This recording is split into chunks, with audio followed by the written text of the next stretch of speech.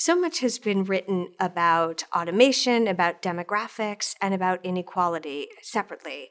But at Bain, what we saw was no one had looked at the confluence of those three important trends and what that confluence will mean for the next one to two decades. When we looked at that, we started looking at demographics. And what we saw was that the labor force will experience a very steep deceleration working longer will help take the edge off, but not enough.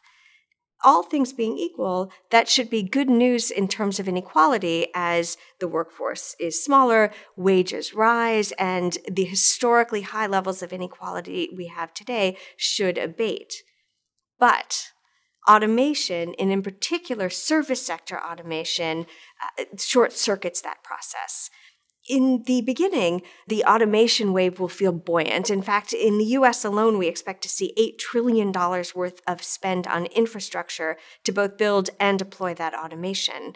But underneath that buoyancy is the erosion of jobs. We'll see either jobs being eliminated or jobs that would have been formed that aren't formed, or wages being reduced or capped at the rate at which a worker becomes more expensive than a robot ultimately, through this transition, we expect to see as much as 20 to 25% displacement in the workforce and wage suppression for another potentially up to 80% of workers, which leaves all of the benefits of this period going to that top 20% as we define it, which creates even more inequality. This sounds scary, and, and it is scary. The last time we saw a transition of this magnitude was agriculture to industry uh, that took place over about 40 years, uh, was twice as long and half of the impact that we expect to see in the next 20 year period.